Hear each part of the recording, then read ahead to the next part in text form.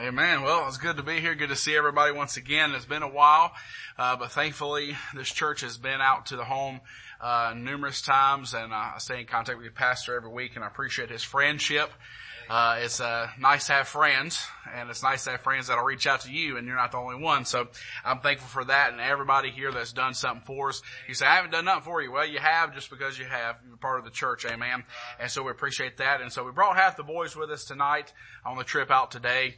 And uh, we've been doing uh, a lot of projects here. We started one uh, this week. I was telling uh, Brother Joe, I believe, about um, uh, taking out the flooring upstairs in the living room and the dining room, uh, replacing 25 ceiling fans, and adding some of those uh, fans in as well.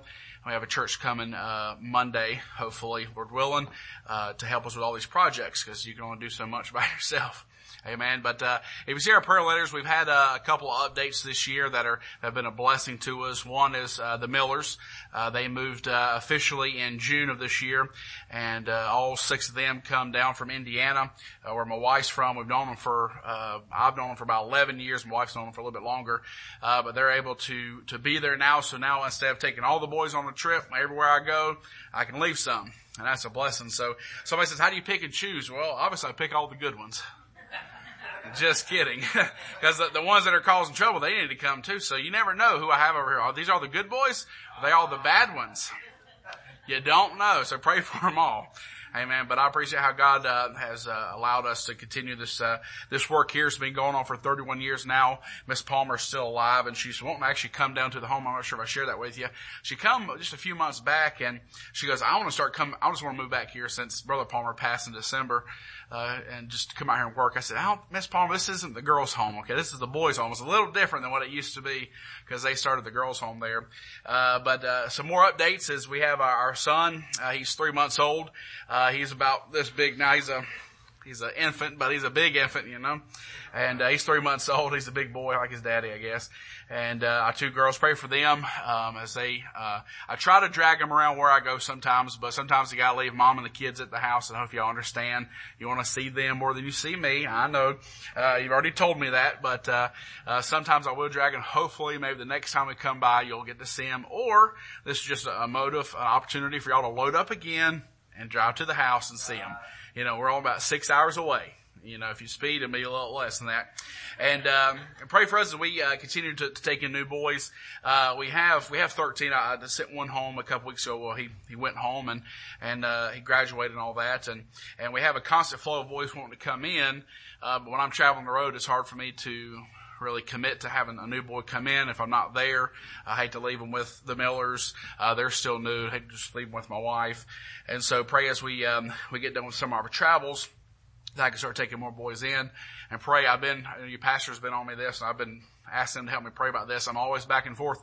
Do you go over 14 boys? And uh, I talked to brother uh, Caleb Hewitt's been spending some time down there at the house this past week and his father-in-law come out to pick up the trailer and he says, well, he goes, I was in a, I was a men's home and hopefully don't mind me saying this, but he goes, I was in a home and he goes, it was just too many or, you know, whatever. It's something like that. And, uh, and I said, well, brother, I said, I want to do the same thing. I, I don't want to have too many. I want to have just enough to where we have this, um, uh, this home feeling, and I don't want to have it to where uh, we lose the quality of of seeing those young men get saved, teaching them, training them, and not have be a number. You know, when I was in the home, you know, we only had eight boys at a time, and that was that was that was a good number. But I, am trying to be as effective as as possible. And uh, people say, "Oh, how do you know, or how do you get to number 14?" That's how many seats I have on the bus. And uh, if I was able to put a rack on top and tie some, I guess we could go up to 15 or 16. But the, I don't know if that's, that's legal or not. Uh, but uh, so I'm staying at 14, you know, because that's how I can fit in the bus with me. And uh, just pray that either we get a bigger bus or the Lord allows me to, to get them our boys since we can't leave them behind. So y'all help me pray about that. Uh, and then to continue the projects, we're starting, um, updating some things, uh, in the prayer letter. We talked about the seven HVAC units that we've got to replace, uh, on the property. And, and, uh, I always tell people we have 18 showers, 24 toilets and 25 sinks. And so plumbing is always an issue. So there's always something leaking and you don't believe me, come to the house. You'll know, you know how it is, brother. And so we got a lot, a lot of that things going on, but God has been blessing. He's been giving us food left and right. Uh, Dollar General's freezer went out a while back and we got uh, two more pallets of food. And then, uh, the, the brother Brown from, um, Ranger, Georgia there, White Plains. Is it, yeah, brother, uh, Yes. Anyway, they brought, a, they brought some food out. The Browns did. They, they had three hogs and that's about 600 pounds of pork. So we're able to put that in our freezer. Uh, it's just like, um, the church here and, uh, you know, um, bringing the cows May, of 2000 or 2020, right? Not 2000, but May of 2020 when we ran out of food about and uh, the church was a blessing here and used members of this church to to get us that cow and then bringing us another one as well. And so pray for that. And I've got a um, God has given us the ability to uh, to meet certain people and there's a generator we come across that's 150k that we need. Uh, just like when we got the cow donated that one night, guess what? The power was out again. Because the power always goes out in Mississippi. It's the strangest thing. You, you remember you're showing up, we're eating zucchini boats out of our gas stove and waiting for the power to come back on so we can put the meat in the freezer. and so God has blessed us with just giving us food left and right, cans food, uh, just donating the meat for us, and our food bill has tremendously dwindled, so we're able to put other funds into the home. Uh, again, we are a tuition-free home. We don't make the parents pay, but we ask, you know, of course, I don't want any parent taking advantage of what we have to offer, but sometimes it's going to happen. But I'm going to offer a ministry uh, as long as we can without having to charge anybody, uh, you know, forcefully, and just say give what you can give. You know, each month if you can get fifty dollars, give fifty dollars. If you give eight hundred, give eight hundred. Give a thousand, give a thousand.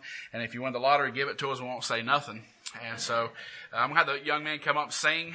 Uh, and I, they always get nervous. I come and get them up here and break the ice, just sing. I said, don't worry after you. I said, the, the ladies are going to sing and they're just going to knock it out of the park and no, everybody's going to forget you, you know, so. Just kidding. We're going we're just to sing for the Lord. I, I tell them, I said, I ain't worried about our voices. I said, we're just going to sing for the Lord. Get them up here. Uh, give them the experience of standing in front of a church so that, uh, when they get out of here and they go back to where they're from and they find a, hopefully a good local independent Bible believing church that they can get in there and not be ashamed to be able to teach a Sunday school class, lead the singing and all that. We teach that at the home. And so we teach them how to do Sunday school, lead the singing. Uh, sometimes we'll go to churches and that matter of fact, the pastor say, you know, they'll know what we do and they'll say, hey, one of your young men will lead the singing. I said, sure. And somebody volunteer and, uh, we, we try to make sure that we're not just, uh, uh, you know, we're not, we don't sit around and play video games. We don't have a, a we don't have a console. Hallelujah. Cause we got plenty of things to do around there. We got plenty of things to clean and fix. Amen. Y'all sing now. Amen. Joshua 24:15. And if it seem evil in you to serve the Lord, choose you this day whom you will serve, whether the gods which your fathers served on the other side of the flood, or the gods of the Amorites in whose land you dwell. But as for me and my house, we will serve the Lord. Oh, bless the Lord, yes, bless the Lord, well, bless His holy name. Let me not forget all His benefits or the blessings that He brings. Lifting up my hands to the great I am, ashamed. With all that is within me now, oh, bless His holy name. Now Jesus is to me my everything, and I'll bless the day He came. When He gave me drink from the fountain sweet, that I'll never thirst again. Now through the Spirit of the Son to the Father I can say, for your saving blood and for all you've done, bless your holy and sweet name. Amen. Oh, bless the Lord, yes, bless the Lord, well, bless his holy name. Amen. Let me not forget all his benefits or the blessings that he brings. Lifting up my hands to the great I am, let me never be ashamed. With all that is within me now, oh, bless his holy name. Someday I'll live beyond the blue where a better home awaits. There I'll lay aside for the crown of life all the sorrow, death, and pain. To see my loved ones and to know I will leave this world behind. I will lift my hands and I'll bless his name while I'm shouting through the sky. Oh, bless the Lord, yes, bless the Lord, well, bless his holy name. Let me not forget all his benefits or the blessings that he brings. Lifting up my hands to the great I am, let me never be ashamed. With all that is within me now, oh, bless his holy name. With all that is within me now, oh, bless his holy name. Amen. That's good. Amen.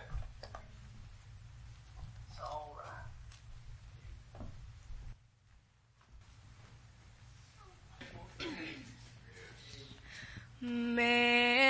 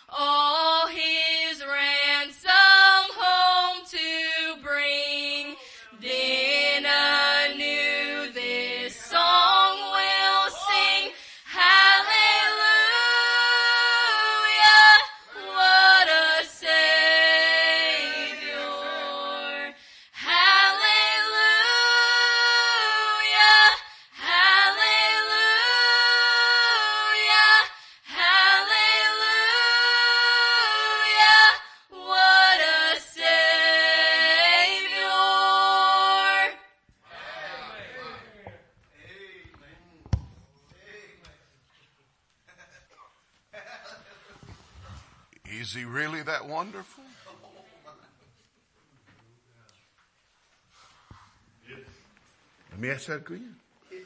Is he really that wonderful? Then should not the heathen know how wonderful he is? That's right. Should not the darkest corner of the continents Come on, preacher. be filled with the light of his glory mm. so that somebody could know what we already know? Yeah. Hallelujah. What a savior. Hallelujah. What a savior. Hallelujah. What a savior. Well, you don't have to look too far. Just look in the mirror. You'll see what a savior he is if you just take a minute and look in the mirror. Look where he brought you from. Look what he done for you. Amen. Look the change that he's made in you. Look at what he's prepared for you. Hallelujah. What a savior. Amen. A faithful savior. The Bible said even if we don't believe, he abideth faithful for he cannot deny himself. Amen. Nevertheless, the foundation of the Lord standeth sure having this seal.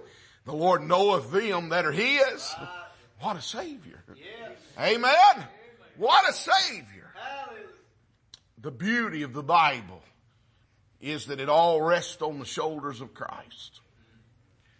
When you look at that Old Testament, there's, there's, there's one principal pattern of a covenant relationship. And that principal pattern of covenant came in the ministry that God had with Abraham. When God made a covenant with Abraham, He called him to the covenant grounds and He caused a deep sleep to fall on him. And when Abraham woke up, the Bible talks about a horror of darkness. But in the darkness, when his eyes adjusted, he saw a light passing amongst the pieces of the sacrifice. That wasn't a sacrifice Abraham brought. That was a sacrifice God brought. That wasn't a work that Abraham wrought. That was a work God wrought. Amen. Abraham got to enter into it and Abraham benefited from it. But Abraham didn't do anything in it. That's how our salvation is. Amen. Hallelujah. What a savior. Hallelujah. What a savior. You see, he done it all. You and I hadn't done anything. Don't get it in your idea that just because we get to go tell somebody how glorious he is that we're doing anything either. Amen. We just get to be a voice crying in the wilderness telling others, look and live. Look and live. Just look and live because oh, what a savior is mine. It's not about the missionary. It's about the master. Amen. I'm sure glad there's never been a sinner that he could not save. There's never been a saint that he could not help. Amen. And that's the God that we serve. Hallelujah. What a savior. Well, I could leave said it's been good to be in God's house. That stirred my heart tonight. And I appreciate it. Enjoyed the presentation from Mississippi. Amen. If you have, you have to watch them though. They'll bring mosquitoes with them. Y'all need them down here, I'm sure. Amen. Well, praise the Lord. Amen. Been a good week so far, hasn't it? Amen. Thank God. So, uh, I told you last night, and I think we're going to go ahead and do it just for a couple of minutes, but I told you last night and, and on Wednesday night, we started off by saying we need to celebrate. We need to celebrate the work that God is doing through. Dr. Blue always said God will often give through you what he will not give to you. Amen. What God's looking for is channels, conduits. Amen. Don't worry, he pays real good, he pays real good handling fees. Amen. He'll take care of you, but he wants to do something through you. He wants to do something here at Lighthouse Baptist Church that's bigger than Lighthouse Baptist Church. Amen. And, uh, and, and, and he's doing that. He's doing a work now through those 10 missionary families that the church has partnered with and committed to partner with, reaching around the world with the gospel. But the days that we are, these days, we're looking for God to do even greater things in the future going forward. Amen. And so we talked about how we want to celebrate. We talked about how we're going to confer with these families to see what we can do to reach the world with the gospel. And then we talked about how we need to make a commitment in our hearts. We need to look to God and make a commitment going forward about our own personal giving, about our own personal going, about our own personal serving, about our own personal witness. There's so many areas of missions. Amen. So many areas of missions. And, uh, and we need to make that commitment to the Lord. We're not making it to the church. We're not making it to the pastor. Don't get too nervous, but you're not even making it to the missionaries. You're making it to the Lord. Amen. And that's important. So I said last night, take a minute when we went back to fellowship and find some positive things in the lives of those 10 missionary families on the mission board in the back. Find some things in their lives, in those prayer letters, and if you didn't find one this month, you're going to have to go back and dig up something a little deeper. Amen. But go find something that we can celebrate that's taken place in the life of one of those missionary families. And I told you probably should have divided it up, but I didn't. So let's just do it by volunteer. And uh, I brought my little notes. I went back there and looked, and I brought my little notes so I could just check one off. Let's see if we can cover these missionaries. Who wants to go first? Just stand up real quickly. Tell us the missionary family and tell us something positive from their life. Who's going to go first? All right, Rachel. I figured you would. Amen. Um, Brother Don Drake, uh, he, him and his wife, they invited, uh, husband and a wife to the church. But the wife had, um, unexpected company, so the husband and his mother-in-law, or mother, something like that, they came to church. How about that? And they're still in Spain. Right. Amen. And so that's a blessing. Don and Patsy Drake, I think. We've met them on several occasions. All right. So that's the Drake family. We're celebrating and uh, sometimes even in a military town, it's very difficult to get people to commit to commit to come and even have a meal with you. So they got somebody to hear the gospel. How about that? Amen. All right. Who else? Somebody real quickly. I'm gonna have to carry this over to Sunday morning. Okay, we'll take that anyway. Oh yeah. Yeah, you're exactly right. That's for the Caleb Taft. And uh, they got a, a shipping container full of Bibles and materials and literature. And uh, that's a challenge. Uganda is a landlocked country. And so for that container to get to them, it had to go around the Horn of Africa or through the Suez Canal. And then it has to come in on the Mombasa, Kenya side. And they offload it on the trucks, got to clear all the customs and, and, and regulations in Kenya. And then they cut across the country and they come into Uganda.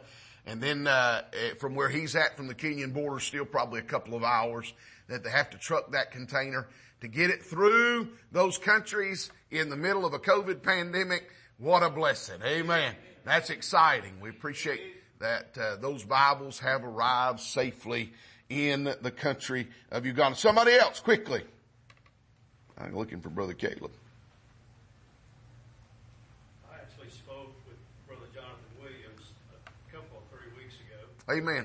and uh, he told me that through this COVID pandemic, they've actually it's not been legal for them to meet Right. in a sanctuary and be together, but there have been two or three different families that have harbored them, if you will, in the farming community. I think you said it was cane fields, and they let them go out in the middle of those crops and have church services in the middle of those crops, actually destroying their crops. Say, go out there, the preachers can't see you there, have church there. There's been two or three different families that have done that. And what a blessing! for How God about to that?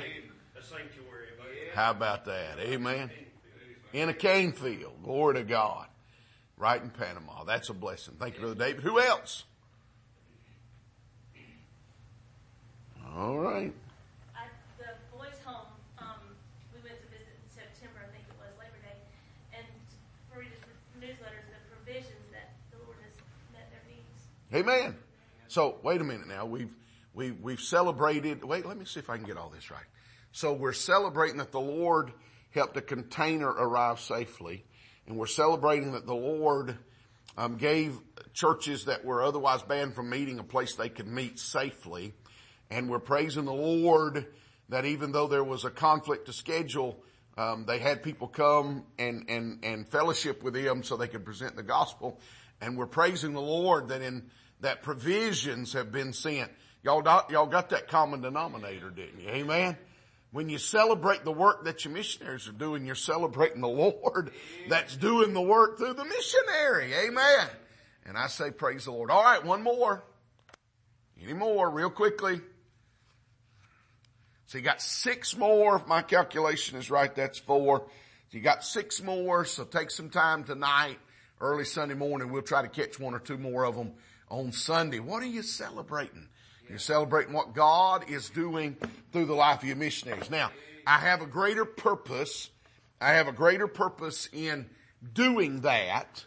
And that greater purpose is twofold. Number one, um, as much as possible, I would encourage you as individuals at the church, I would encourage you to be, be, be diligent about learning the identity of your missionaries.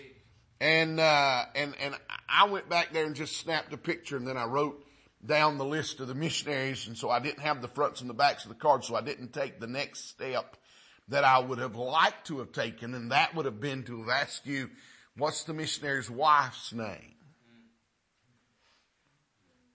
Amen? Oh yeah, that's important. She matters.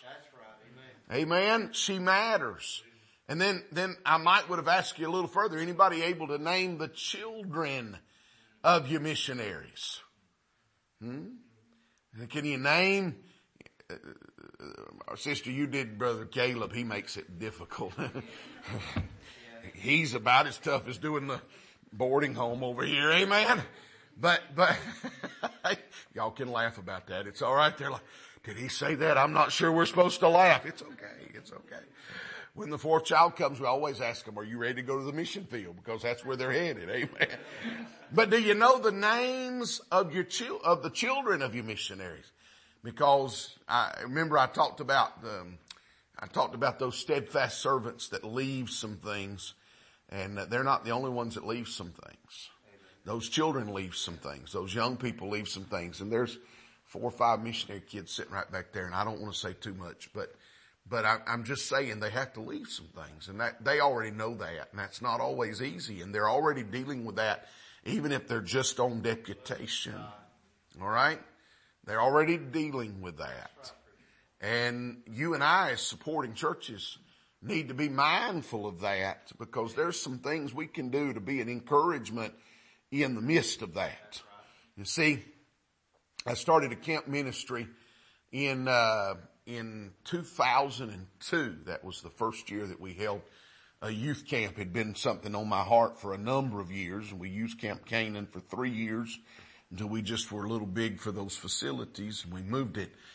We continued to operate seven years as basic training youth camps and then in 2009 we ended up, uh, um, or 2010 rather, we merged with Northeast Georgia Youth Camp and we became the Power of Two Youth Camp. And, and y'all know that because you've been participants in that camp. And we've, we've done that together with Brother Stroud since 2010. Um, and, and, and until the last two years, we just celebrated our 10th year as the power of two. And I said that to say, the Lord put it on my heart because Papa wouldn't allow me to, to pay him on a head basis. I said, what do I need to pay? How much do I pay to use the camp facilities? And he said, ah, cover the electricity. And uh, of course we were able to do a little bit more than that, but I just had a, a set amount that we gave to use the facility for those first three years. And then when we moved to Sand Mountain three years in, um, they had a different pricing structure and that structure was based on the head count. Well, when we started at Camp Canaan, I made a decision that the children of any active missionary family would be allowed to come to our camp free of charge. We'd never charge them. And then when we got ready to move up to Trenton, I was concerned about that because we always run a shoestring budget. I mean, if it wasn't for a love offering or two that comes in at the last minute, we generally would have been in the, in the block, we would have been upside down, uh, underwater. And of course God always took care of that, but I asked the Lord and the Lord just nudged me. He said, I'll take care of that. Just let folks know. And I wrote a letter and several churches sent funds in. We started an MK fund and that fund still exists today between myself and brother Gary Crisp. And, uh, we've probably in the last, oh, I don't know, 17 or 18 years, we've probably been able to help. I would venture to say we're pushing close to a hundred children of missionary families Um, at, I know one year we bought nine airline tickets. It just depends on what funds were available. We flew kids in. We've run shuttles to the airports, and then in the last several years, we've actually been able to give the kids of missionary families an opportunity to go to another mission field. That's kind of a neat thing. They sometimes get kind of submersed in their field, but they don't know there's another field somewhere. And, and so we've been able to help a little bit with that. And I said that to say, so I know a little something about missionary kids. I know a little something about those families. And, uh, it does good when that missionary family walks in your church and they're on furlough and you can say, man, you've grown up, but I believe you are. And then give those kids names and, and acknowledge them and know them. Amen. Boy, that makes a huge difference in the life of those missionary families, especially those kids. They appreciate it. And then I got to give you my other little two cents worth of counsel. Their kids. They're not in a glass box. You know, you go in somebody's house and if they have a curio cabinet, your kids don't get the things out of the curio cabinet and play with them. They may be toys, but we don't play with them. We don't touch them. If you're my boys, I don't even let them get close to the glass of the case because that in and of itself it can be dangerous and detrimental to the health of the item in the case. Amen. You've heard of bulls in china shops. We are the ones they use in the dictionary beside that picture. But your missionary kids, sometimes when they come to visit, they're like, they're like little toys that got put on the shelf in a curio cabinet. And everybody looks at them and says, wow, look at them. They look almost normal. I'm not real sure, but they're close. Alverson girls excluded, amen. But, but, but no, open the door and take them out.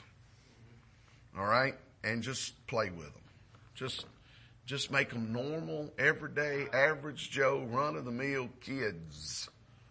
Right? That makes a difference. Amen.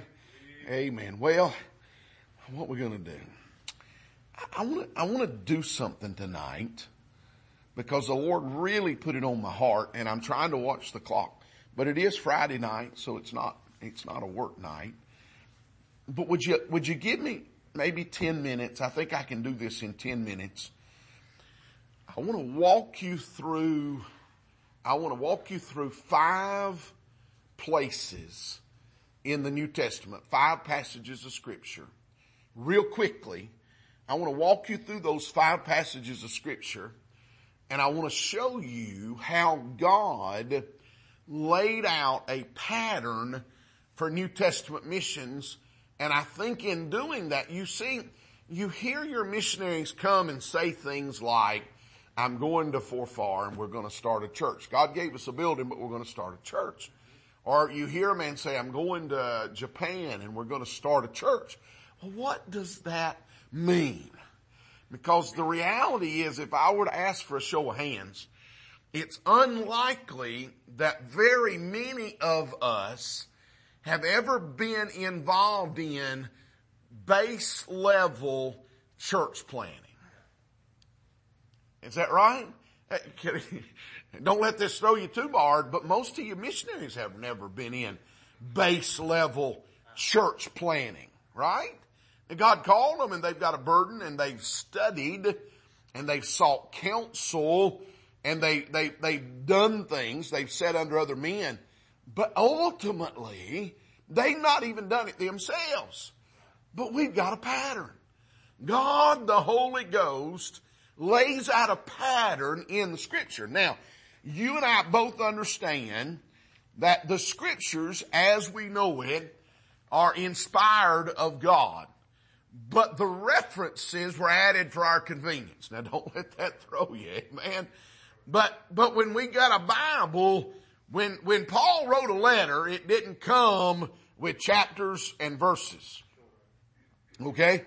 And even the chronological order of the scriptures, God has kept the canon of scripture, but it's not, it's not given to us. The scriptures are not laid out in your Bible in a chronological order either. They overlap each other. They, They overrun each other at times and that God has a purpose in all of that and He's had His hand in all of that. But when you come to the New Testament and you walk through the New Testament, God has laid out the typical, and there's a key word, typical, because sometimes certain fields demand something that's atypical.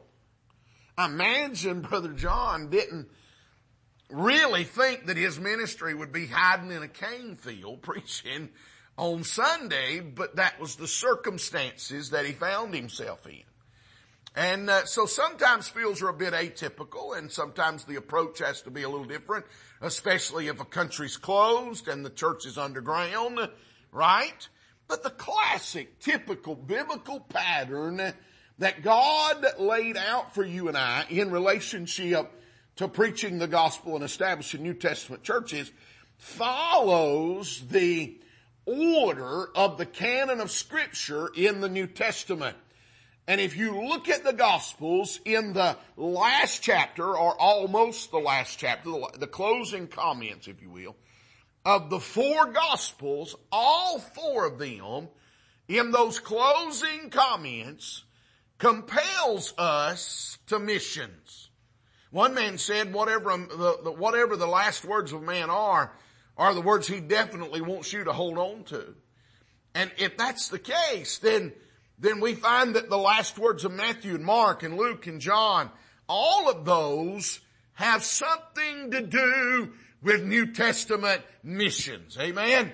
And so I want to look at those with you. And we, we find that if we start with the first one, we would go to the Gospel of Matthew.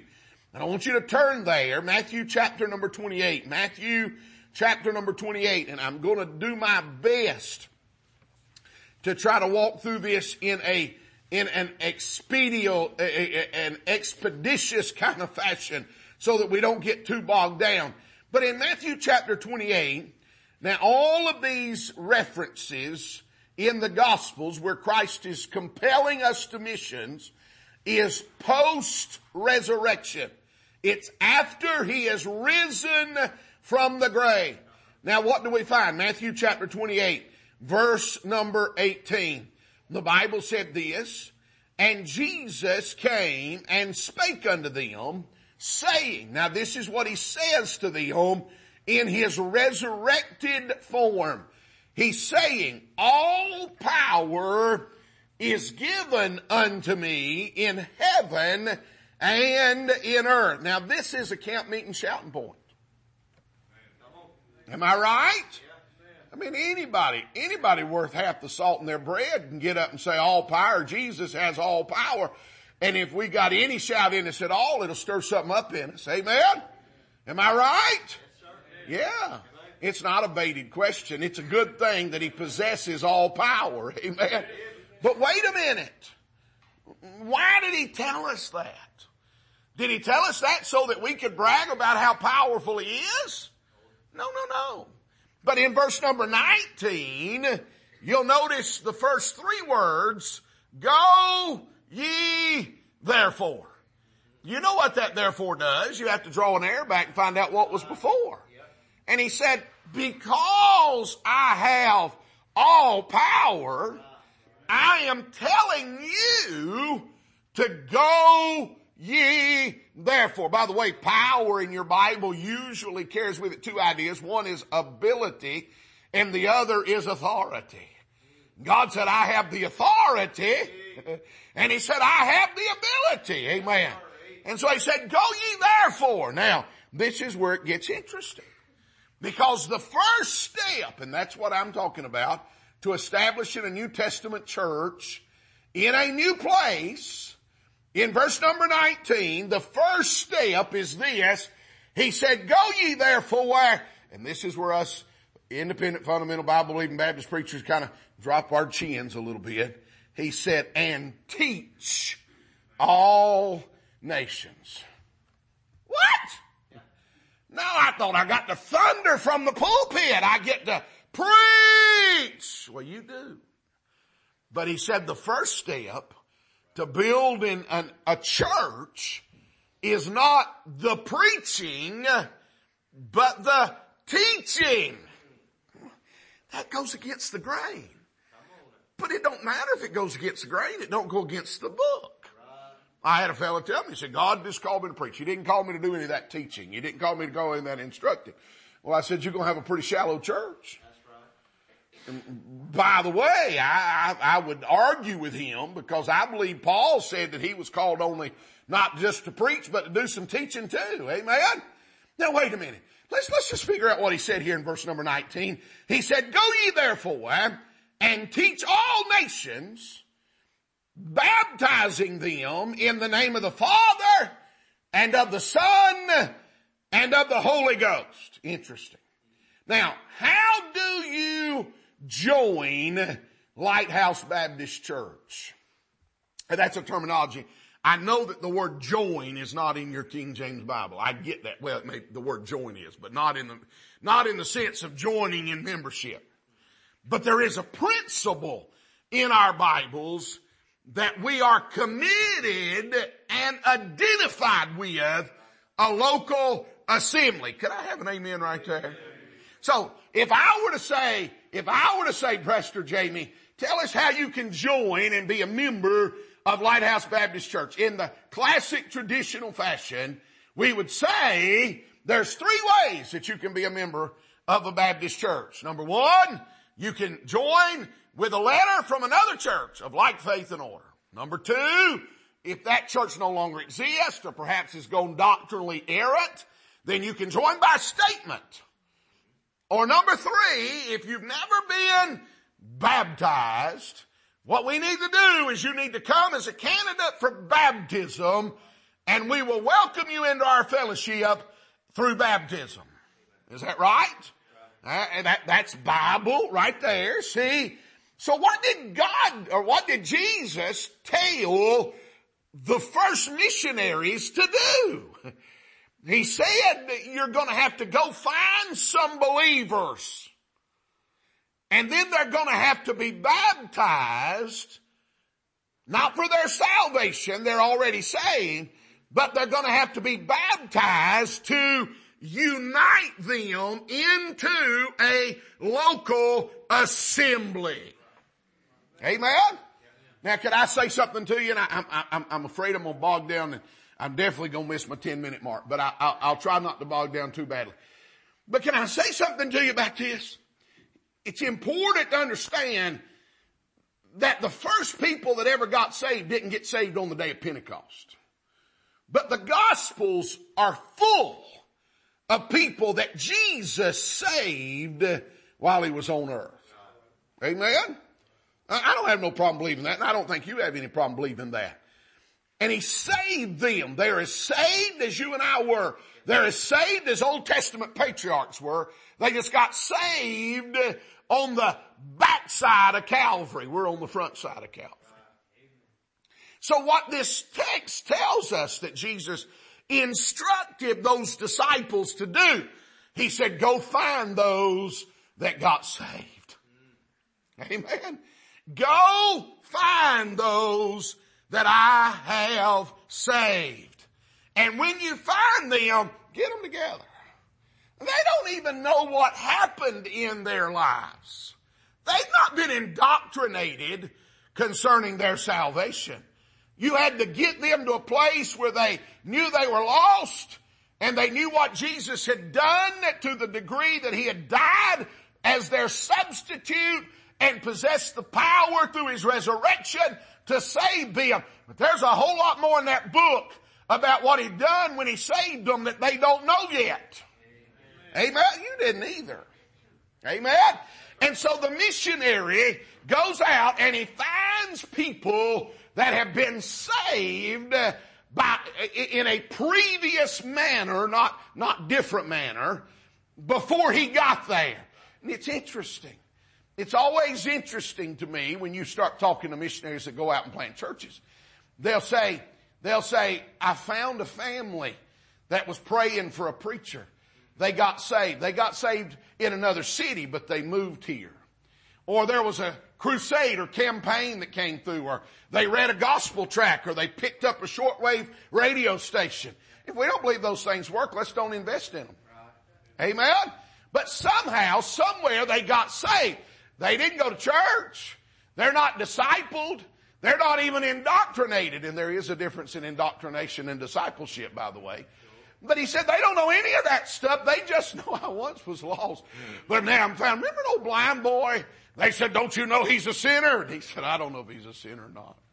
I don't have no idea if he's a sinner or not. But he said, one thing I do know. I once was blind, but now I see. Amen.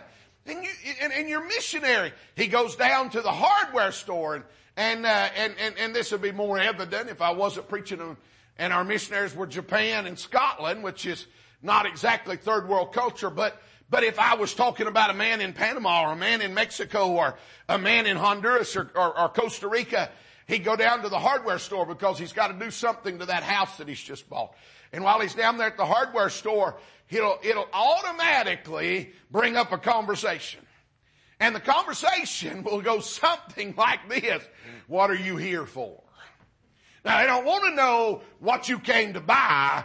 They want to know what are you here for? Like, why are you in our town? Why are you in our country? You don't speak our language. You don't eat our food. You, you, you're not one of our, uh, in our nationality. You may not even be our color.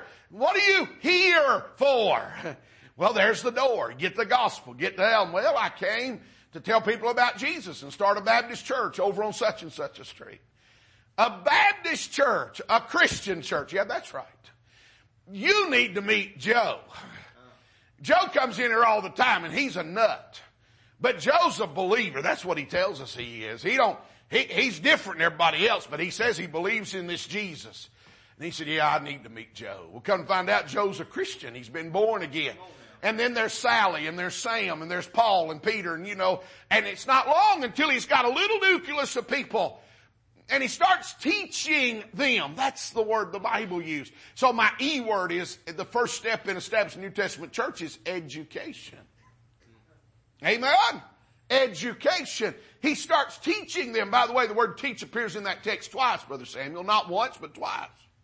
The first teaching comes before baptism. The second teaching comes after baptism. The first teaching is the indoctrination of salvation. What happened when you got saved? I know you repented. The Lord saved you, but let's go a little deeper. Let's understand the doctrine of salvation, alright? And then he said they're baptized. So they commit to the membership of that local church. Amen. There ain't a brighter string in me, so don't go there. Amen. I'm, just listen to me. I said it and I didn't apologize and you can record it and put it out anywhere you want to. Amen. Amen. I didn't say they had to be baptized by somebody that had been baptized by somebody who'd been baptized by John the Baptist. That crowd claims that hadn't either.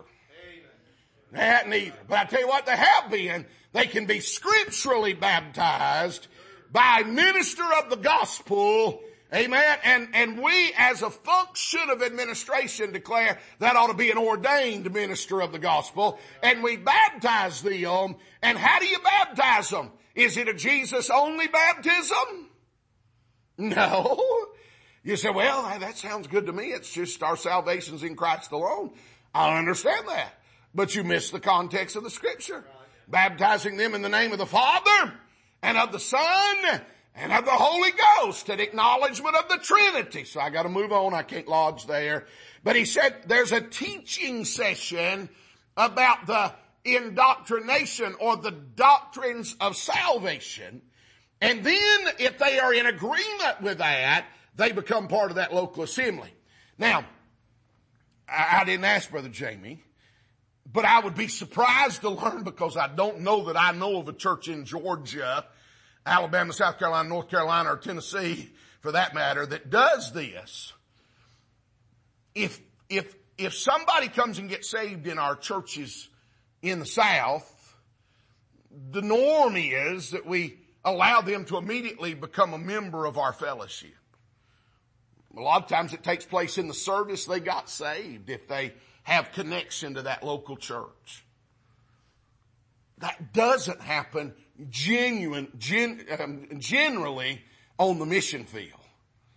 Your missionary very often, and I'm not speaking for these two men that are, three men, but, but the two church planners that are representing that, I'm not speaking for them tonight. But generally speaking, they don't immediately bring them into church membership. They generally have a discipleship plan. And that might be a three week course or a six week course where they have to meet once a week because I'm just going to be honest about it. Some people have got some really weird ideas that have been indoctrinated into their head by really strange things in the cultures, climates, and geographies that they find themselves in. Amen? And by doing that, you are establishing the assurance of their salvation by walking through the Bible. Now look, I believe you can take the Bible and show somebody how to get saved. Amen right there. But you're not going to indoctrinate them in salvation in a 10 minute soul winning session at the altar while they get born again. And so they don't even accept them for church membership until they've had a period of time so that they can say, this is what the Bible teaches about being saved, about being part of a church, about being part of this body of believers. And at the end of that, Brother David, they say, I agree with that. I'm in on that. That's what I want. He said, fine. Now you can join the church. Right? Now you can become a part of this assembly. How you do that? We're going to baptize you as a testimony that you've passed from death unto life. I'm not going into the baptism part tonight. All right, so now they're a baptized church member. But just because they know a little bit more about how it, what it means to get saved doesn't mean they know anything about how to live. But look, we got it. It's right here in the book. So now we see verse number 20 comes into play. So in verse number 18, there's power and authority. Verse number 19, because of that ability and authority, go find the say, go find those I say, teach them. Once they are in agreement with that doctrine, baptize them, thus, thus forming a nucleus of a church.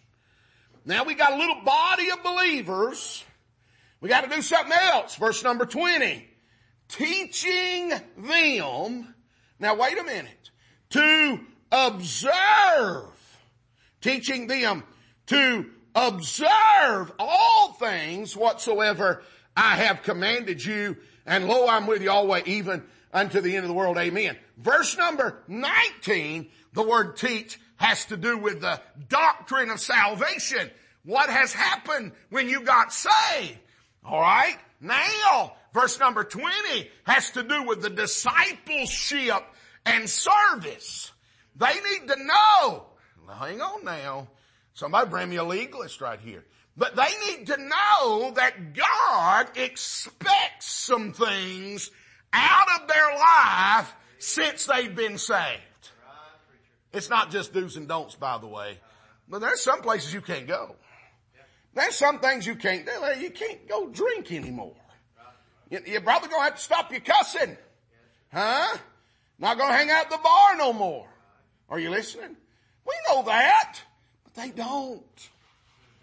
And so there's a teaching that takes place. This education is both doctrine and discipleship. And in the middle is what I call church membership identified by that act of baptism. So now where do we go?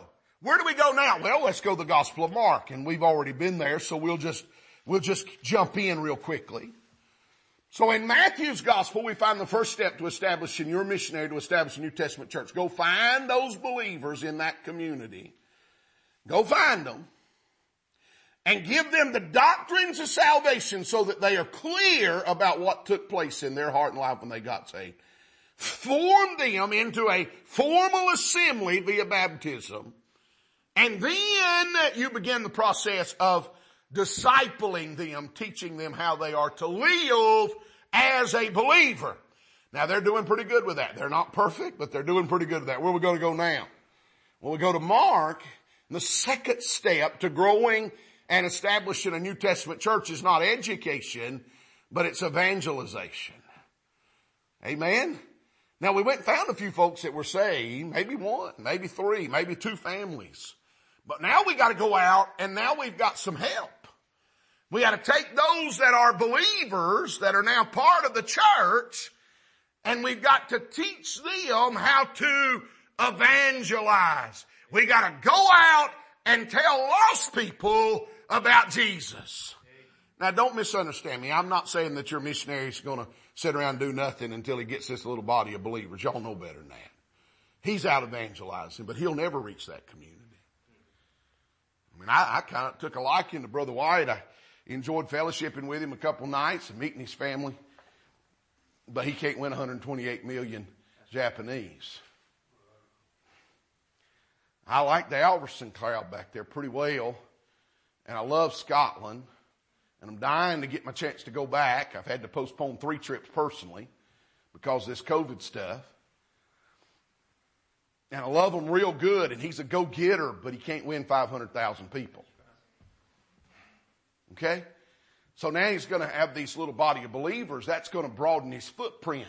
What are they going to do? They're going to start evangelizing. How do you evangelize?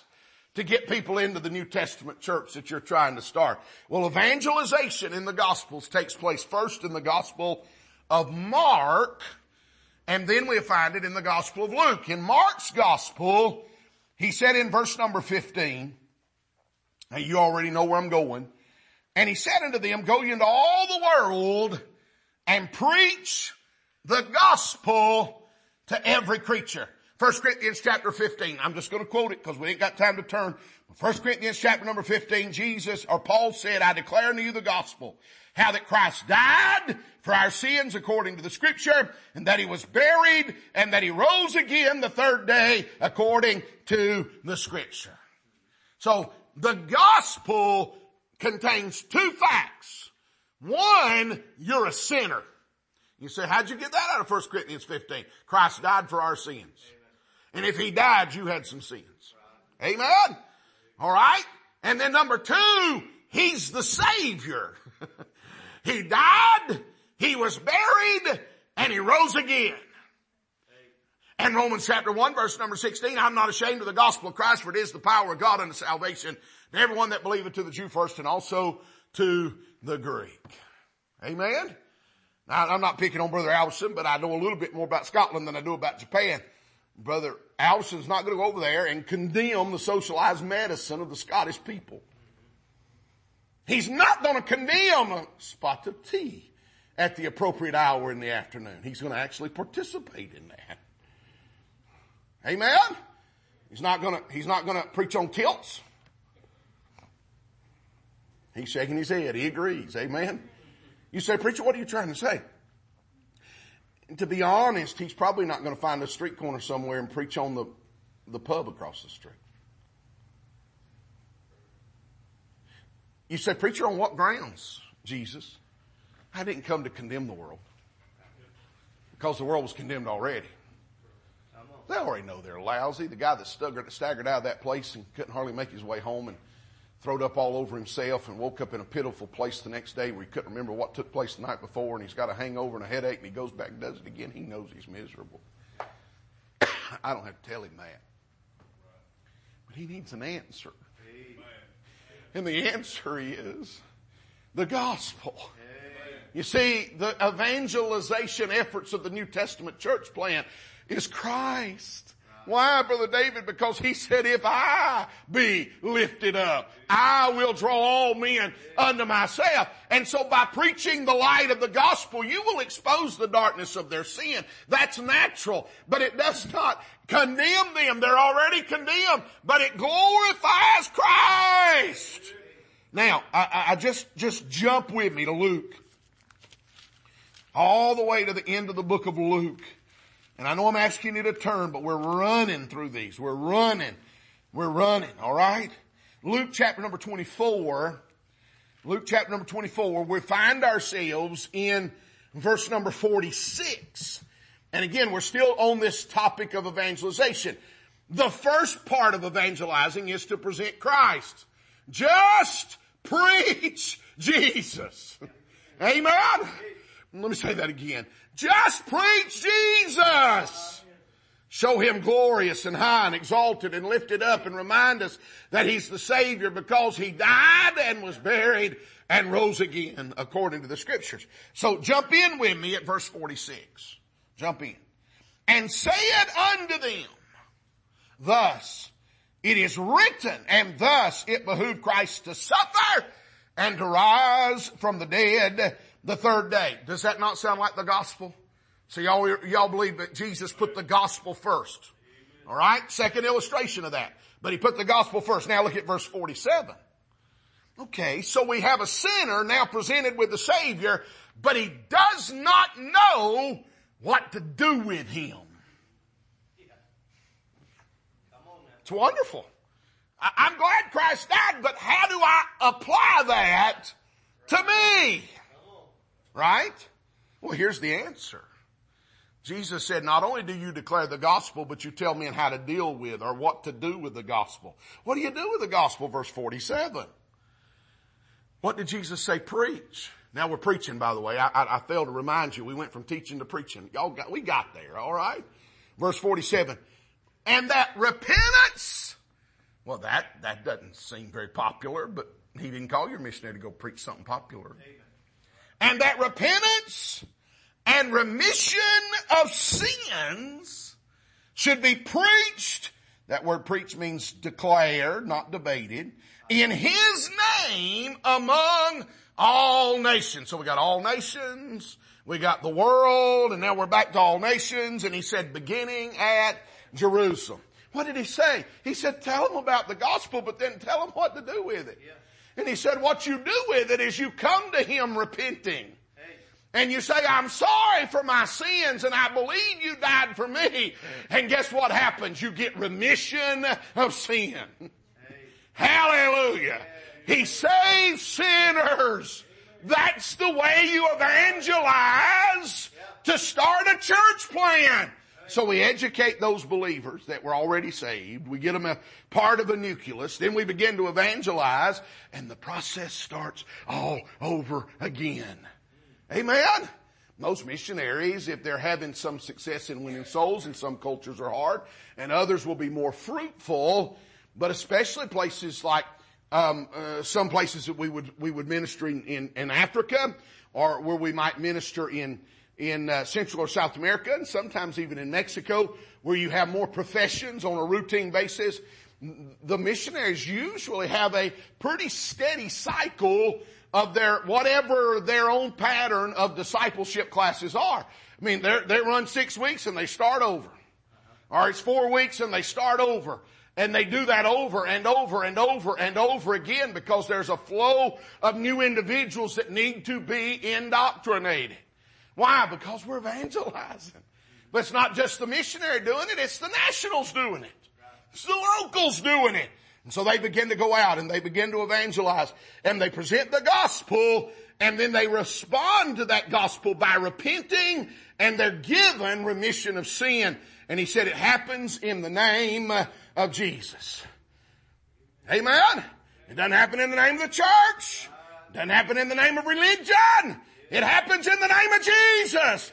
No wonder the songwriter said, take the name of Jesus with you wherever you may go. All right. So we've, we've got, we've got Matthew saying educate. We've got Mark and Luke that taught us how to evangelize. Then we go to John chapter 20. We got to go to John chapter number 20. Man, I've gone way over my time, but, but just, just give me a couple more minutes. All right. John chapter number 20. This is the only one of these where we didn't go into the 21st chapter. We're back in chapter 20 as Jesus appears after his resurrection. Um, verse number 19. The same day at evening, being the first day of the week, when the doors were shut where the disciples were assembled for fear of the Jews, came Jesus and stood in the midst and saith unto them, Peace be unto you. Let me pause as I'm preaching to Lighthouse Baptist Church and those that are visiting and let me step over on this side because this side, with the exception of, of the front row, is pretty much missionaries. And let me, let me, let me give you a little hope, little word of encouragement out of that text. Closed doors doesn't bother Jesus. Amen. Amen. You're going to run into some. the government will close them. The, the community will close them. Society will close them. Lack of resources will close them. Jesus said, I'm not the least bit worried about closed doors. When the disciples were gathered and the doors were closed, Jesus came and stood in the midst of them. He's still able uh, to pass through closed doors uh, and to make things happen when nobody else can. He's still able. Amen. Hallelujah. Amen. Glory to God. Well, so, so, so he said he came and he stood in the midst and he said to them, peace be still. Now look at verse number 20. And when he had so said, he showed unto them his hands and his feet. Then they were, then the disciples were glad. The, the, then were the disciples glad when they saw the Lord. I'm interested in verse 21. Then they said, then said Jesus to them again, peace be unto you.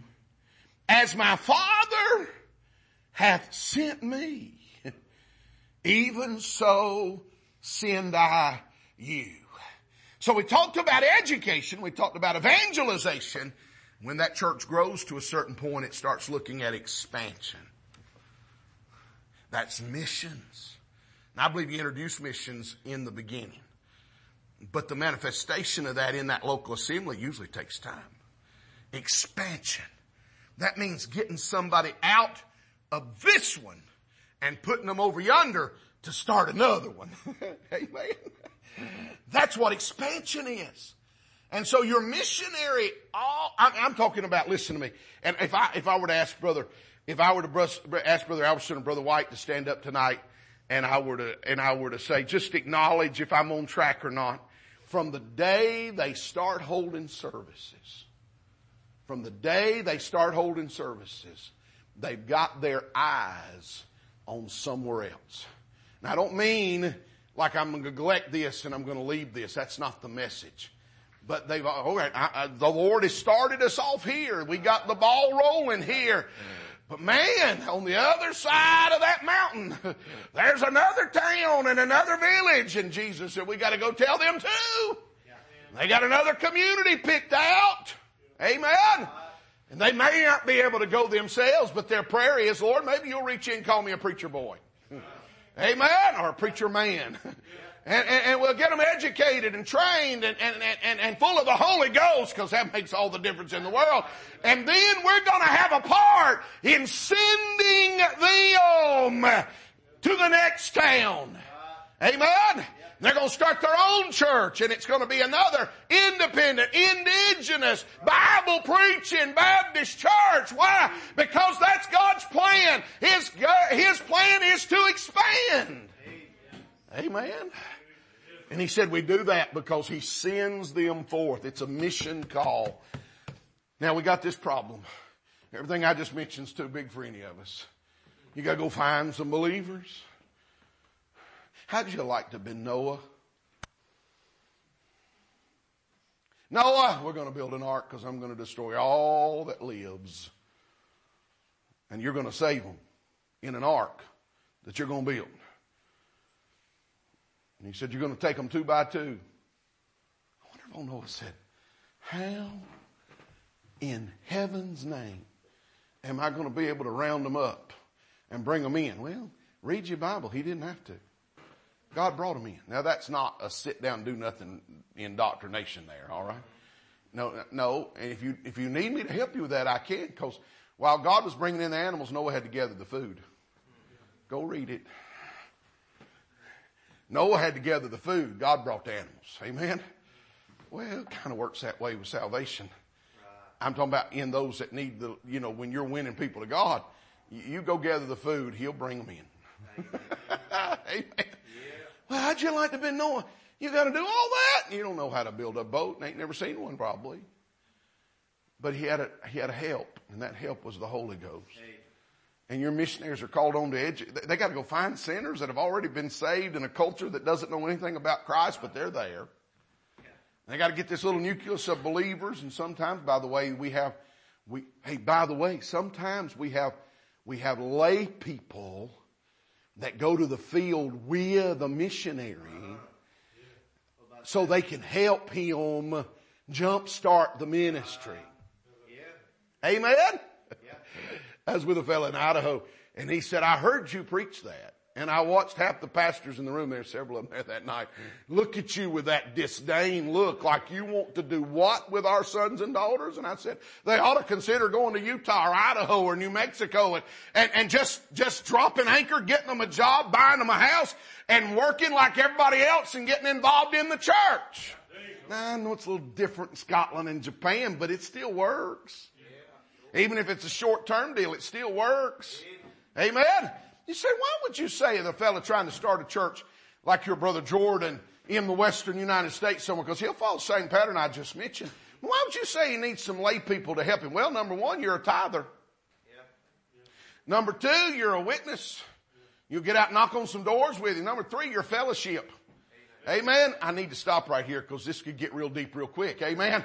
But I'm just telling you, you can be such a, somebody could be such an assistance, an aid to the missionary trying to establish that church.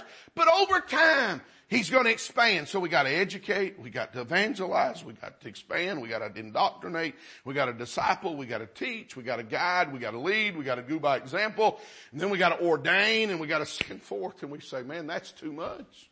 I can't handle all of that. Welcome to the club. Amen. Well, where's the answer? Just turn a page or two in your Bible to Acts 1. And I'll give you this and we're going to close and I didn't get Luke 8. I don't know. I don't know. We'll just see what the Holy Ghost said. Acts 1, verse 8. But you shall receive power.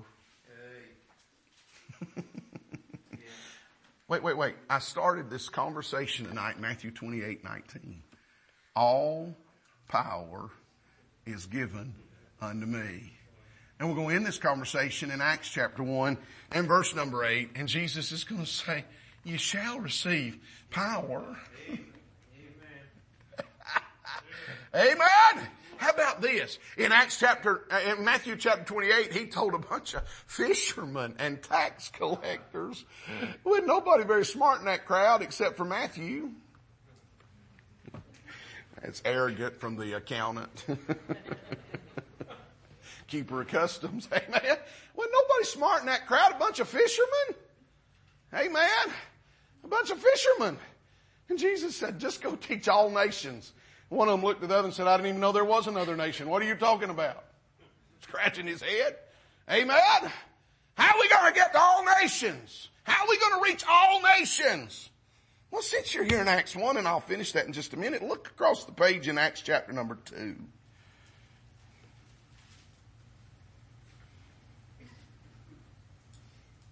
Verse number 5. This is when the Holy Ghost comes down and stays. Remember, we're operating on, we got orders from the Savior when He, when He left us.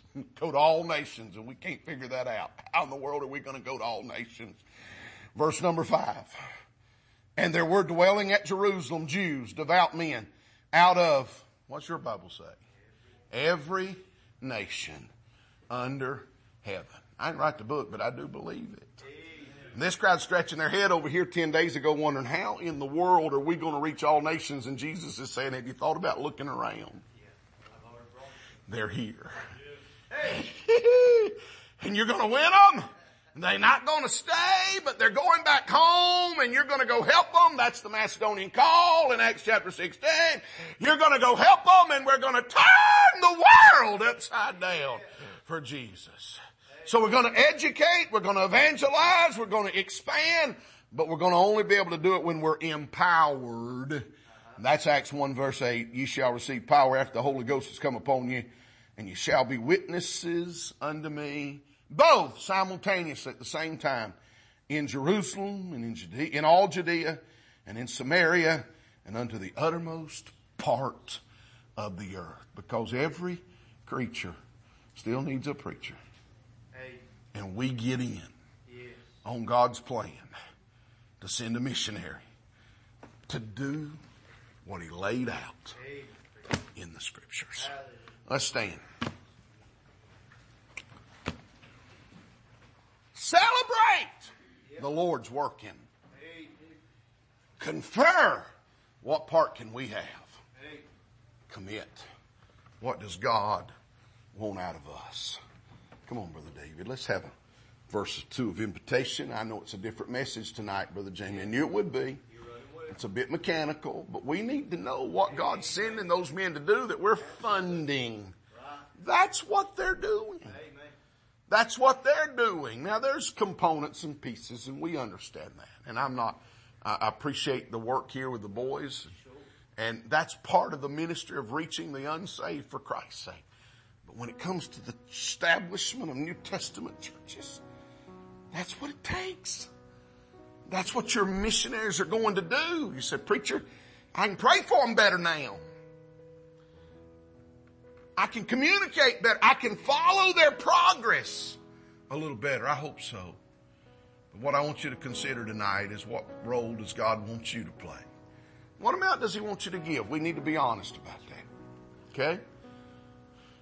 What amount does He want you to give? What's your family going to do? How are you going to get involved? Where are you going to commit?